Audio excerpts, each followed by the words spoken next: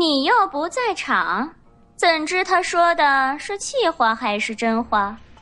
三爷逞思娘可不是一天两天的，我才进门半旬，也明白，虽然我是正室，却未必见得一直能留在这个墨之院里。想要相安无事，还是本分些好，免得得罪了爷心上的人，等来一纸休书。裘三娘瞥见墨子进来，就想起墨子说过，红梅应该知道休两任正妻的真相，只是红梅嘴严，不肯透露。此时，她趁机套一套。奶奶，这话可吓到我了。老太太说了，有一有二就没有三，这回无论如何也不会再让三爷胡闹了。不看咱们靖王府的名声，也要顾虑皇上那边儿老太爷下了战场后，最为皇上称道的，就是咱们府里的家和万事兴。因为三爷的任性，惹皇上生了两回气，再来一次，恐怕要雷霆大怒，不止罚三爷一个，连大爷、二爷都要罚了。那四娘便是再受宠，若仍不安分、痴心妄想的，就算为三爷生了一儿一女。老太太绝不会再姑息，奶奶放心好了。那休妻的真相，并不容易被套出来。咱们姑娘可不是那么狠心的人。其实男人多三妻四妾的，一点不稀奇。只要各自安守本分，都是女人，谁愿意去整大家的太平日子？墨子开了口，他心里清楚。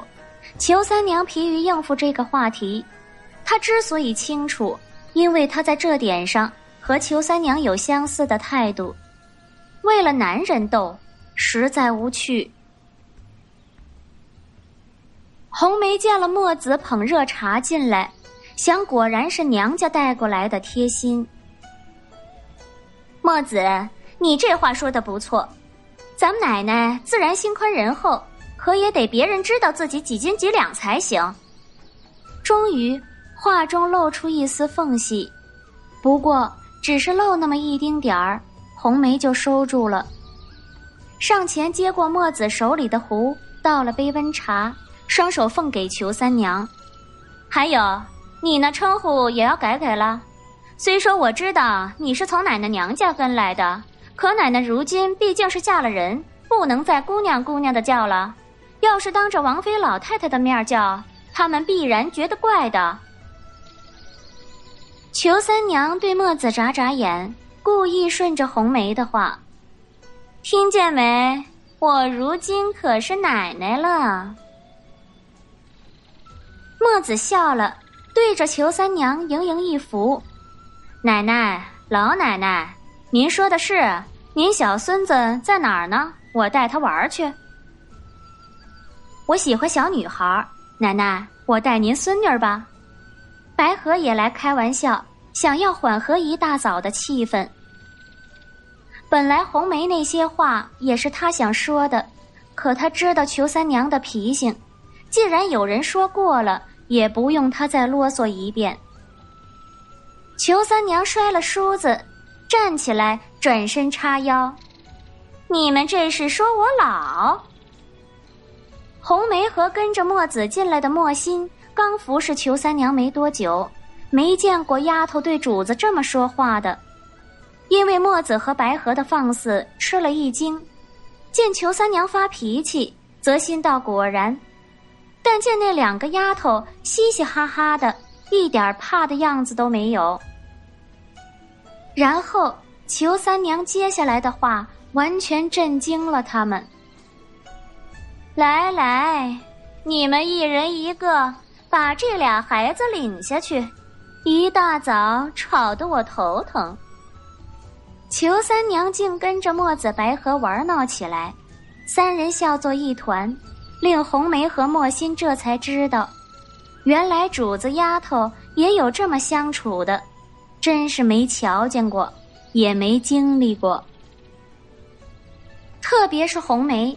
一直跟着老太太，虽说也有玩笑的时候，可绝不会有放肆的时候，玩笑也只能是点到即止，玩笑过头就没大没小了。墨子如今的注意力也不在萧三这位仁兄身上，他和裘三娘都是成年人，该处理的应该都会自己处理，用不着他多管闲事。说实话。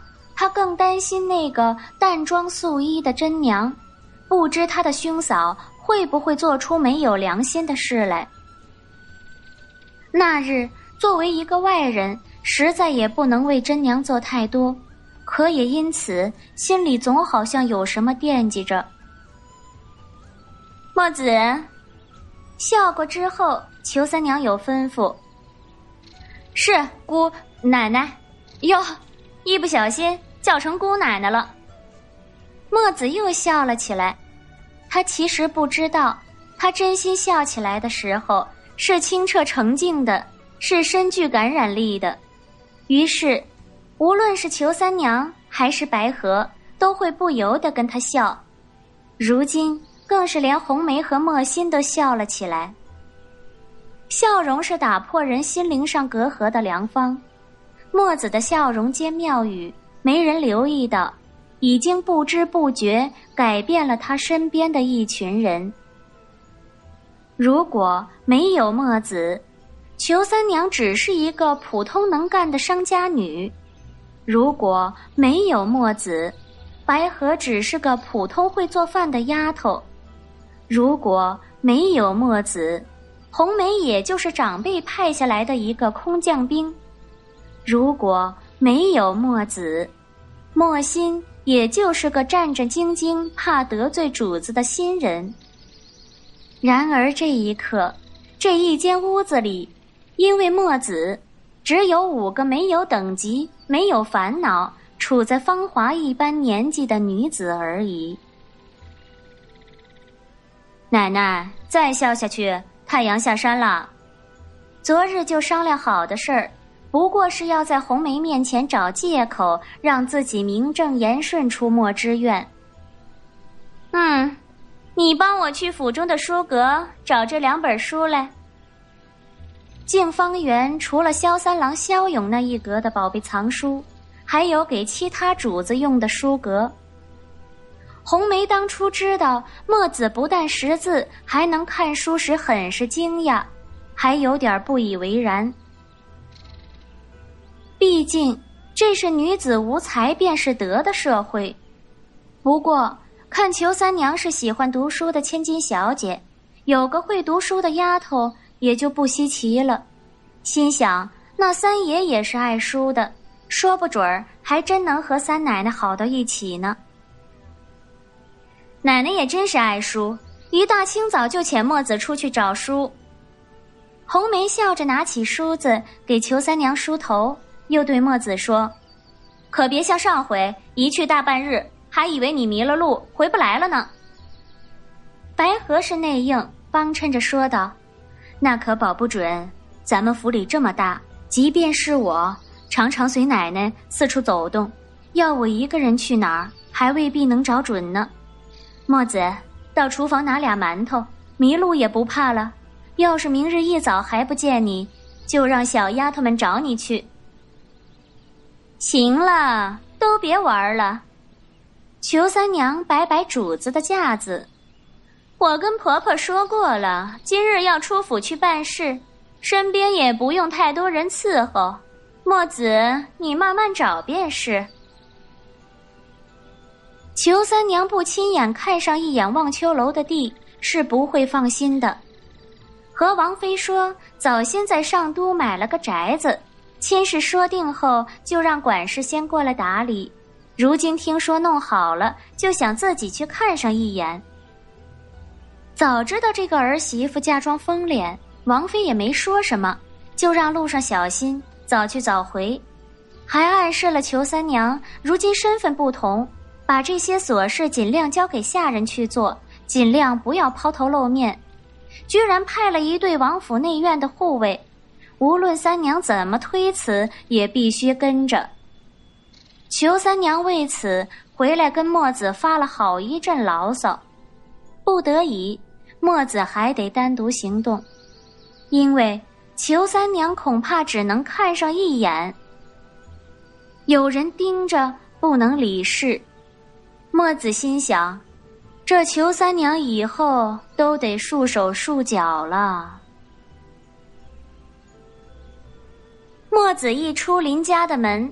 就见暂进那个大个头牵着两匹马，岑儿让你来接的。墨子一愣，心想：虽然又开始传递消息，不过他说了自己去玉和方的。嗯，他说你一个姑娘家走那么远的路不合适，我自己也想来，反正他还没活让我干，我闲着也闲着，而且你是我主人嘛。其实我该整天跟着你的。我说，要不我把你那主人。暂进一手握剑，一手在脖子上比划。暂进，墨子瞧他一脸耍起狠来的样子。呃，啥事儿？暂进的表情其实没杀气。你才跟了我多久？就把你爷爷、你爹交给你的武德丢了，是我这主人太窝囊吧？世界上最后一个好人被他带坏了。暂进闹了个大红脸，我就是烦自己的主人，还有主人，万一我不在的时候，你出个事儿，我也保护不了呀。只要想到这个，心里就起急了。刚才你没来时，我绕了一大圈。长这么大，我还没瞧见过这么长的墙。进去倒很容易，就是要立刻找你出来，得花好一番功夫。莫哥，我听你说过，自由最好。其实你那么聪明，再凭我手中一支箭，干脆出来了，就别再回去。啰嗦，也啰嗦的有道理。墨子笑笑，赞进，你的武功有多高？大概没人问过赞进这个问题。他歪着头想了想，嗯，呃，还行吧。我爹说打猎的话，绝不可能空手而归。爹也说了，跟人较量，当然是打不过我爷爷，不过一两个身强力壮的应该没问题。我自己也不知道，除了跟爹较量过，我长这么大还没用过这柄剑。嗯，那就是真的还行。墨子也认为世上没那么多武林高手。我这话说一遍，你听好，而且以后也不要再问。这世道险恶，凭咱们两个人根本不够好好生存。特别我是个女子，我正在找个法子，让以后谁都不能欺负我们。现在那个主人绝对不是你和我需要去担心的阻碍，倒是他在前面帮我遮风挡雨，我才能在后方做我想做的事。路我喜欢脚踏实地，一步一步踩出脚印儿来走。没有把握的事，我不会随便去做，如同行舟。你看着是逆风，只要帆冲对了方向，逆风就变成了顺风。别人以为不能走，偏是顺风又顺水。不久，我就会成为那道墙内能自由出入的人。到时山高皇帝远，有主也等于无主，好处自然有你我一份。天塌下来，第一个压死的绝对不是我。这年头的好处就是，大家都知道下人听主人的吩咐，追根究底就得找位置高的人晦气。暂进听得有些明白，有些糊涂。他最高兴的是，墨子的话里都把他也包括了进去，还有全心全意相信他就是了。看到马喷气。墨子不是太舒坦，他不喜欢骑马，本能的不喜欢，或者因为他喜欢的是船。船是水上的交通工具，马是陆地上的代步。王不见王，马车还没关系，骑在马上总有要被甩出去的感觉。不过路途短，骑马是最好的选择。墨子抓紧缰绳，背部僵得反挺，马肚子磨蹭着大腿、小腿，真是一点儿都不自在。好在知云坊离玉河坊不远，暂借还带他抄了近路。在屁股发麻之前，就到了同雨街。今日岑二他们只是进驻，还未开工，大门还在鹿角巷里。墨子不愿再骑马，分身下来，将缰绳交给赞进，自己从同雨西街走过去，顺便实地再勘测一下距离。军大毕业后。带着他实习的总工，最强调的一条就是：数据掌握的越精准，成功的可能性越大。房子已经买好，却不代表就能坐等着收钱了。第二遍所得的数据仍然是加强自我信心的好消息。他甚至发现，鹿角巷附近的街其实也有很多商铺。可能是童雨街带出来的，蛮热闹。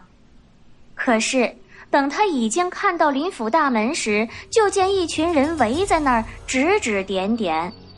赞进跑过来，面不红气不喘，就是声线紧着：“莫哥，岑二让我叫你快过去呢，出了件事儿，他不知道怎么办。”墨子走快起来，问道：“知道是什么事吗？”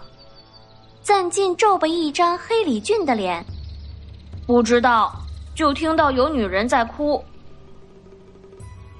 墨子一惊，立刻想到那个真娘，可再想，林公子虽然不太可靠，他那天说到他父母早亡，兄妹相互依持时，他似乎有所感触。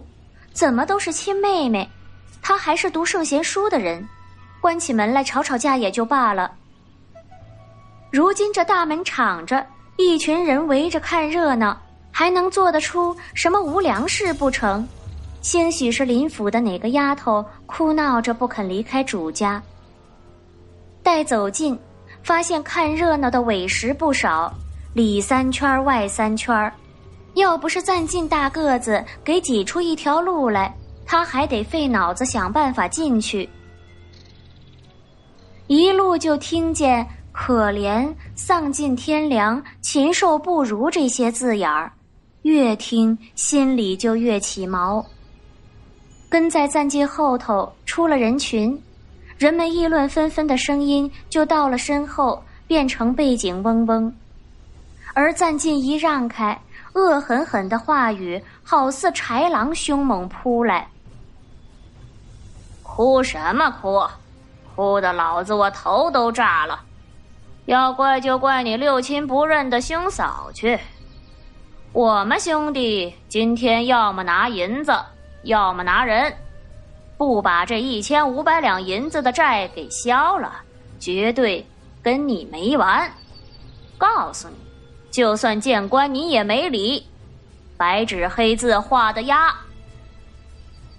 墨子见到几个凶神恶煞的男子站在石阶下。膀大腰圆，守成一排。大春日里，穿着无袖的红边白底短衫，腰间扎了红带子，灰青绑脚裤，手臂和胸口露出狰狞野蛮的黑毛，一看就是打手。而站在石阶上，原本林府的牌匾下有三个人，两女一男，男的。比起打手来瘦精精的，三角眼、塌鼻架，太阳穴上贴了个铜钱膏，头发在顶上盘了个髻，扎了蓝金子，两缕胡子稀稀拉拉，大概个子矮，说着狠话时上蹿下跳，以显得自己有高度。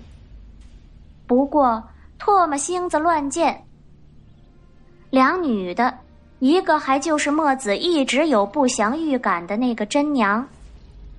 旁边大概是他丫头。